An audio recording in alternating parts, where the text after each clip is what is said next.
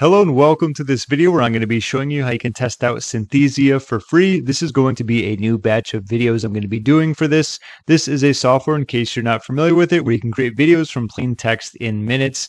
As you can see in front of you, it's going to be a pretty sweet process where you can eliminate a lot of work, steps, uh, other technology, and tools in order to create these great AI videos whether it be for your marketing, for your courses. There's a lot of different ways you can use it. And I thought it was pretty helpful that actually on their pricing and plans page, it talks about the old way where hiring actors, film crews, and studios, working with expensive agencies, post production requires advanced editing skills, uh, updating of localizing videos is time consuming. But this is pretty much what you get instead, where they already have people that you can use to speak the text that you put in and create your videos. So either way, if you check out the link in the description, you'll get taken to a page. It looks very similar to this. And there's actually a button whether you want to create account or create free AI video. You can click on this.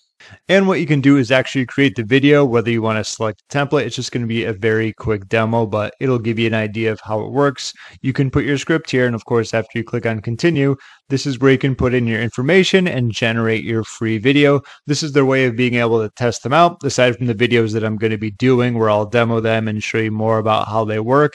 But overall, this is going to be the first video, and I'll have quite a few more when it comes to Synthesia.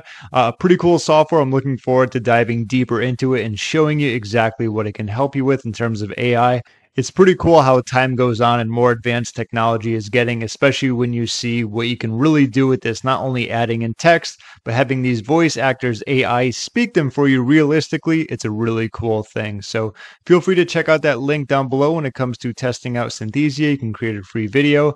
And that's about it. My name is James. Thank you for watching, and I'll see you in my next video.